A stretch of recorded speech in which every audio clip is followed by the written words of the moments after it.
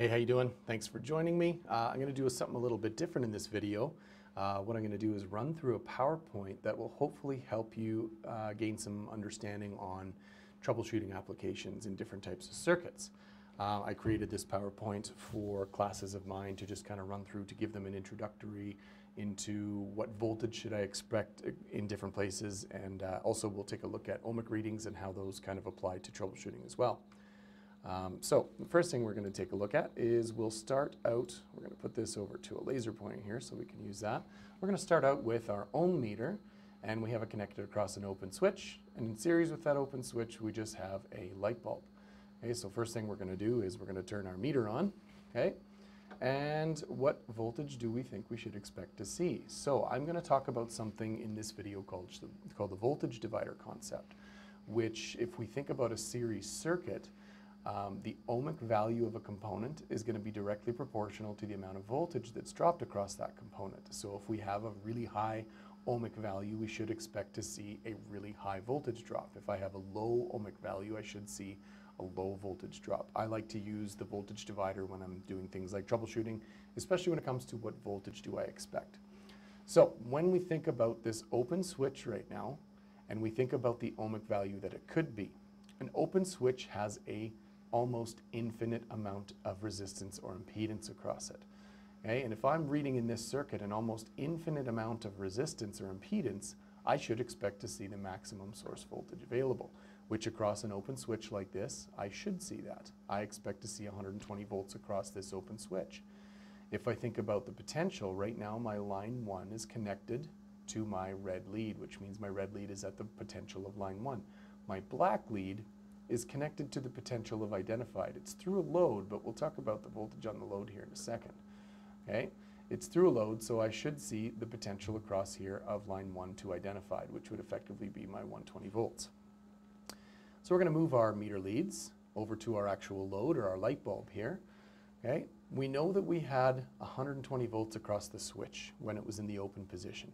We're going to go back to the voltage divider principle. If we think about this as a series circuit, If I had a maximum value of impedance here, well, I know that a light bulb that's not burnt out has some value of impedance, but when we compare that some value of impedance, maybe 8 ohms or something like that, to the infinite ohms of the switch, we can expect to see respectively almost zero volts. And that's really what we do see here. We should see zero volts across that component. Another way to look at it is my black lead is at the same potential as identified, while my red lead well, if we trace it back, it's connected to this terminal, but that's not connected to anything, right? That's effectively like taking that red lead and just waving it in, waving it in the air. I shouldn't see any voltage there. There's no potential across the load right now. Okay, so let's look at the next one. We close our switch. We see that our light bulb comes on. Okay, now what voltage should we expect across that light bulb? Well, if we think again about the value of impedance at this switch, I know that a closed switch has very, very low impedance. And if we think of the voltage divider principle, if I have very low impedance here, I would expect almost zero volts here. And that's what we expect across a closed switch. If it's connected into a circuit, we should see zero volts. If I move over to my load, again, this does have a value of impedance. And when we compare the value of impedance to the zero or almost zero ohms over here, I can expect respectively that all of the voltage in my circuit will be at my load now. Okay, so we close our we, 120 volts. Okay, so my red lead is at the same potential right now as line one. My black lead is at the same potential as identified. But what happens if we remove the load? Okay, my red lead is still at the same potential as line one and my black lead is still at the same potential as identified or ID, which if we look at the meter reading, we still see 120 volts. This kind of gives us a window into the fact that maybe voltage isn't always the best application or doing a voltage reading on a load isn't the best way to indicate that the load is failed, right? Because it told us 120 volts whether the load was there or not. Let's move to the next situation. We have our switch closed. We have our light bulb energized. What could we expect to see across this reading right now, across this closed switch? Again, very low impedance across a switch means we should see very low voltage across that switch, 1.1. Or if I think about potential right now, my line 1 or my red lead is at the potential of line 1, but my black lead is also at the potential of line 1, which means there is no potential difference between these two, which gives us our 0 volt reading on our meter. What about now? We got two switches connected in parallel controlling the same load. Okay, we won't talk about the functionality of this realistically. We would have to have both of these switches in the open position to turn the light off, and either one of these switches would override the other. Okay, but for what we're talking about, what voltage could we expect to see? This comes back to having an understanding of, if we'll call it equivalent resistance in parallel. If I have two loads connected in parallel, I know that the equivalent resistance of those two loads will be less than either of these two. Okay, they're not really loads, they're switches, but it still applies to switches as well. If I have two closed switches, that's essentially the same point. All of this is exactly the same point.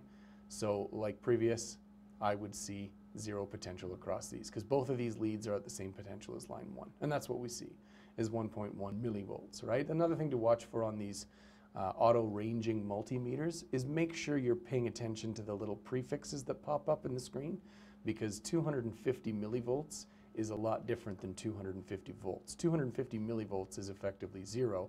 I can get more voltage on a, a meter just by waving the leads in the air. Uh, but make sure that when you're expecting 250 volts, you're not reading 250 millivolts. Okay, so let's open this switch up. One of these switches connected into this parallel group right here is open. We're going to decide what do we expect to see with a light bulb and what do we expect to see with the voltage reading across our switch. Okay, so again, if we think about that parallel impedance equivalent, this switch right now is closed, which means it has effectively zero ohms of impedance. If it's connected in parallel to this open switch and I have my meter across that group, I'm going to read effectively less than whatever load is connected in parallel. That's one way to look at it. Okay, so we should see if I have 120 volts applied, right now line one is connected to uh, my red lead, but it's also through this closed switch connected to my black lead. So the black lead. So there's there again the same potential. We should see zero volts across my switch configuration, which means I should see maximum voltage or 120 volts across my load. So if we were to put our leads across our load right now, we would see 120 volts. Okay, so let's look at our next configuration. So we've taken the switches at a parallel, now we've got them connected in series. We have one switch closed and one switch open. Okay, and we notice that our load is actually de-energized right now. So let's think about the uh, voltage divider first of all. Okay, so I have zero volts across my switch right now, or sorry, zero ohms across my switch. Um, I should expect to see zero volts across here as well. But there's another way to look at this too. Line one, my red lead is at the potential of line one. My black lead is at the potential of line one as well. Okay, so we should expect to see zero volts across that closed switch. If we move our leads across the open switch, well, that line one, that red lead has the same potential as line one, and my black lead has the same potential as identified now. And again, we have that almost infinite resistance here, or impedance. I should see the maximum value of voltage across this switch, or 120 volts. Okay, if I move my leads over to my light bulb, Okay, again, if I'm seeing 120 volts here, or maximum impedance here, okay, with respect to that almost infinite impedance here, I should see almost zero voltage here, which we do. Okay, and then if I take my leads and I have my black lead here, if we look at that, it's connected to the identified, so the black lead is at the same potential as identified, while the red lead way over here is connected to line 1. So my red lead is at the same potential as line 1, my black lead is at the same potential as identified. So effectively I'm just reading straight across my source voltage. And that's exactly what we see is that 120 volts. Let's open up both switches. Okay, so again, if we look at where my red lead is, it's in direct contact with line 1, so it's at the same potential as line 1. And my black lead is at the same potential as identified, so I'm reading again source voltage. If we look now, this one's a little bit trickier. We have to think of this black lead is still at the same potential as identified, but if we look at where the red lead is, it's kind of connected to this portion of the circuit that's just kind of floating in the middle of the air, right? There is no potential here. When I say no potential, I'm not saying we have 120 to zero. I'm just saying it's like this lead isn't even in the circuit at all. Okay, so this would be effectively like holding one lead to identified and the other one just waving it around in the air. You're not going to read any voltage here. Okay, and that's exactly what we see on the meter screen. Okay. Let's switch it up. Okay, we're going to go away from the light bulb and we're going to look at just a simple control transformer and we're going to actually apply this to uh, both sides of our load. In previous videos, I have um, gone through kind of the transformer action of how transformer works. Over here, I just have what's represented is, I just have the symbol for our inductor, right? We have in between H1 and H2, we have a coil. And in between X2 and X1, we have another coil, right? We have our primary or high voltage side, and we have our secondary or our low voltage side, and they share a common core. Okay, so when I energize this transformer, what it's going to do is the current will flow through the primary coil, creating a magnetic field, and that magnetic field in the core will induce a voltage on the secondary side of the transformer. And this is just meant to be a 120 step down to 24 volt control transformer. Okay, so we'll use it to kind of run through similar examples to what we did with the light bulb. So the first thing we're going to start off with here is uh, we have our open switch that controls our transformer. And just like our light bulb, okay, we know that our light bulb had a certain amount of impedance. We know that it's more than zero, but we know that it's far, far less than infinite. If we think about our open switch, our open switch has almost infinite. So again, back to the voltage divider principle, I can say safely that my almost infinite value of impedance across my switch means I should have maximum voltage available or 120 volts. If I move my leads over to the primary coil on my transformer between H1 and H2, I know that my switch has almost infinite impedance. This coil has considerably lower impedance than that open switch. I should see zero volts across my transformer right now. There's no voltage applied to my transformer. Again, Another way to look at it is my black lead is connected right to my identified, okay? My red lead isn't really connected to anything. It's connected to H1 on the transformer, but because of that open switch, again, this is kind of like holding the red lead up in the air. I'm not going to get any voltage across that. Okay, so we should see zero volts across our transformer. If we close, or sorry, we'll, if we check out the secondary side of our transformer, we go back to how that transformer actually works. If I don't have any current flow through the primary side of my transformer, I will not have a magnetic field inside the core. And if I don't have a magnetic field inside that core, I'm not going to get a secondary induced voltage. So I, should, so I should expect to see on the secondary of my transformer, no voltage, right? And I've just kind of shown the meter leads out here connected out to these outer rails to indicate if I had any type of, type of a load connected across these, um, I would see zero volts across those as well zero volts induced on the secondary of my transformer means that I've essentially, I've got no power supply for this circuit down here. Okay, so let's close that switch. Okay, and what voltage should we expect across a closed switch if I have my load connected? As previously with the light bulbs, I have almost zero impedance, which means I should have zero volts. Okay, and that's what we've got there. We move our leads over to the primary side of our transformer, now, with respect to this being effectively zero, whatever impedance I have on the primary side is going to be far greater than zero. I should expect to see whatever the maximum voltage of the circuit is, right? So 120 volts I should read across that transformer. Another way to look at it again, H1, uh, my line, my red lead is at the same potential as line 1 my black lead is at the same potential as identified, meaning that I have 120 volts applied to the primary side of this transformer. Okay, and again, transformer action. If I move my leads to the secondary side of my transformer, both of my coils are intact, I should expect to see the secondary voltage of my transformer now. Uh, that is my induced secondary voltage. And again, this is a 24 volt secondary side, so we should expect to see 24 volts. And again, if I move those leads out to these rails, um, what that's doing is just indicating if I had any leads connected to those rails, I could expect to see 24 volts applied. Okay, and there we go. There's our 24 volts. So let's look at what happens in this situation. Okay, I've got my switch is still closed over here, but if you look at what's happening here, I have a broken coil. Okay, another way to indicate that I have a broken coil or say that I have a broken coil is maybe that coil is burnt out. Okay, before we move on, I'm just going to kind of describe the differences between an open coil and a shorted coil because there's two, there's kind of three scenarios we could see. We have our normal functioning coil, which would have some value of impedance. That means it's a functioning load.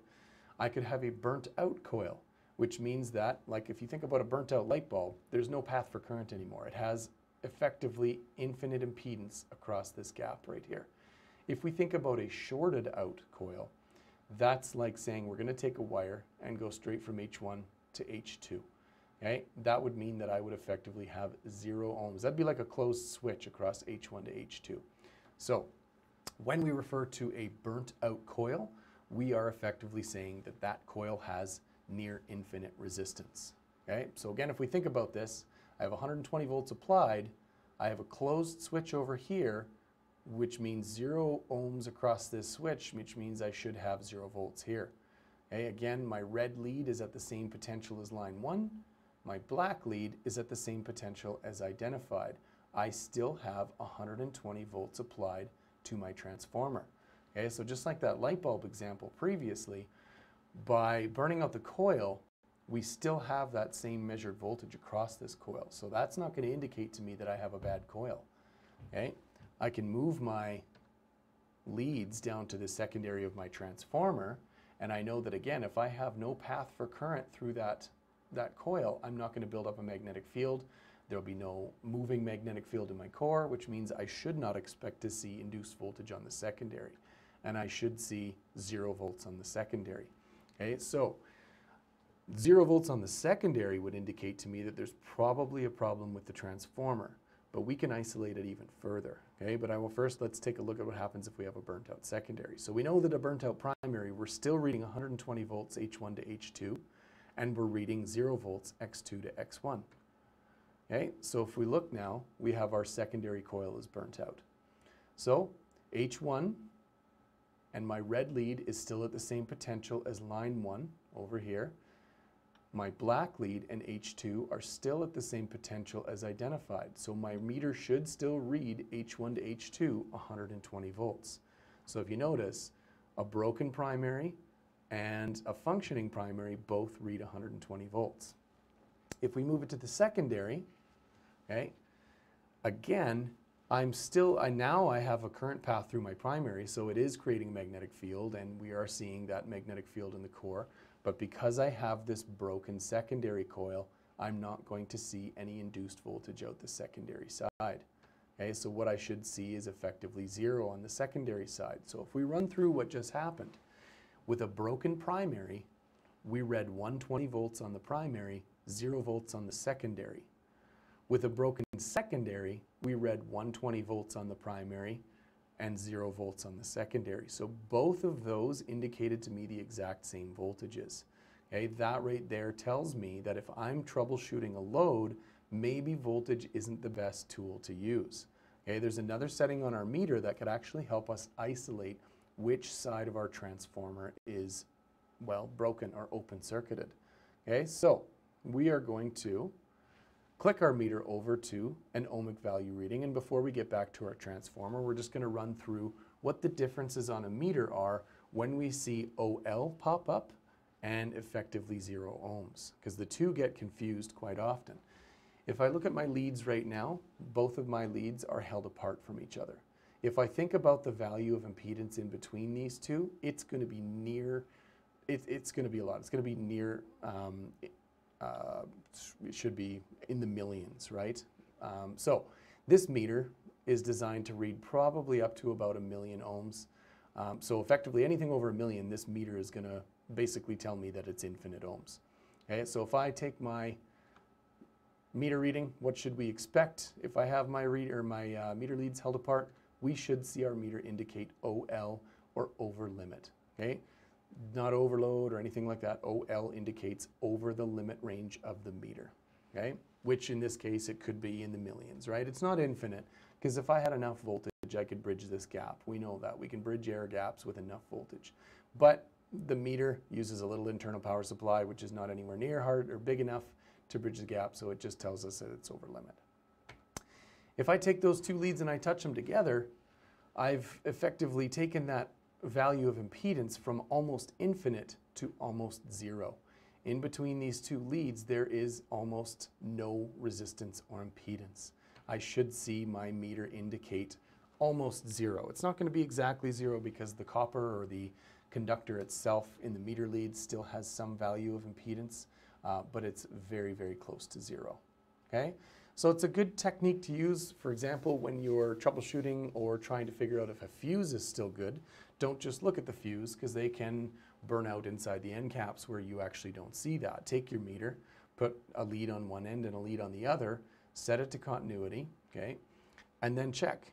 If you have zero ohms, what that tells you is there's continuity between those two ends. Your fuse is still good if you're reading zero ohms.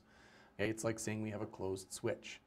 If my meter indicates OL, that tells me that there is no path for current through that fuse and that that fuse would be indeed burnt out. Okay, so let's bring it back to the transformer. So right now, we have our burnt out primary coil, okay? And you'll notice over here, I've got that switch open. In the previous slides, we had the switch closed to check the voltages. One of the things you need to remember, and it's imperative, if you are doing continuity checks on anything, make sure you are working with a de-energized circuit. These meters do not like to be connected to energized circuits. It's very bad for them. Okay, so when you are doing a continuity check or a resistance check on a component, make sure you de-energize the circuit. It's best if you can isolate the component because then you know you're reading truly across this coil, right? So let's think about that. Right now, if I have a burnt out coil and I'm checking H1 to H2, what should I expect on my meter? I should see OL indicated because it's almost infinite value of impedance, okay? If I was to move these meter leads to the secondary, well, my secondary coil is still good. I should read something. It should be more than zero should be less than infinite, should be significantly less than infinite. And on this one, just as an example, I've put 48 ohms in there, okay? That indicates to me that the primary side of my transformer has a burnt out coil while the secondary is still functional, okay? If we change it so that we have a good primary coil and a burnt out secondary coil, now, if I think about that ohmic reading on the secondary, it should be like the burnt out primary where I should see OL indicated on my meter. Okay, so again, just to kind of recap what we've talked about here, uh, the voltage readings that I got from a burnt out primary and a burnt out secondary were identical. That would not indicate to me which side of the transformer was faulted. Obviously, it would tell me that if I had 120 volts applied to my transformer and I had zero out, there's probably a problem with my transformer. Okay, and realistically, what you do with a control transformer is just chuck it in the garbage and, uh, and buy a new one. Okay, but when we're talking about components like this, for example, we can actually isolate which side of the transformer is burnt out by switching over to our ohmic value or our continuity check. Okay, again, when we had a burnt out coil on the primary, it indicated OL on the primary and something on the secondary. When we switched it and had a burnt out secondary, if I was to read H1 to H2 right now, I would expect to see some ohmic value greater than zero, but less than infinite. Okay, on my secondary, we're indicating OL, and that actually tells me that my secondary would be burnt out. Okay, so hopefully this video has helped you kind of expand your knowledge of troubleshooting. Obviously, I just used a couple specific examples, um, but uh, again, make sure when you're reading components, if you're reading the actual loads, don't always trust the voltage because if I had, for example, say a burnt out gas valve in a furnace, the gas valve, if I was to meter across the gas valve and everything was working, I would still see 24 volts across the gas valve, even though that little uh, relay coil or solenoid coil inside the gas valve could be burnt out. So, always a good idea to check with an ohmic value as well. Uh, if you can isolate a component, obviously do that. Then you're not reading accidentally across the secondaries of the transformer instead of the gas valve. Uh, but anyways, again, hopefully this has helped you kind of deepen your understanding of troubleshooting. Thanks for joining me, and, uh, and we'll talk to you next time.